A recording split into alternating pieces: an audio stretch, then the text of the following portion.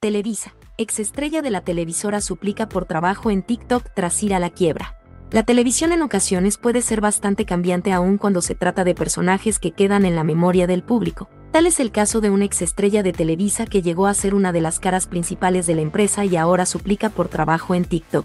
El éxito en un programa o con un personaje desafortunadamente no garantiza que se tenga una trayectoria con grandes oportunidades. Ahora llama la atención el presente de Carlos Bonavides, mejor conocido como Huicho Domínguez y que ahora no tiene trabajo.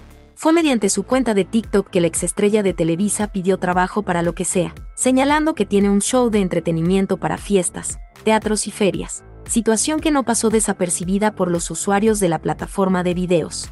Fue en la década de los 90 donde el actor y comediante se volvió famoso a lo largo del país gracias al personaje de Huicho Domínguez, quien es un obrero que, con un golpe de suerte, se vuelve millonario gracias al premio de la Lotería Nacional. A partir de ahí dicha faceta salió de la producción donde nació.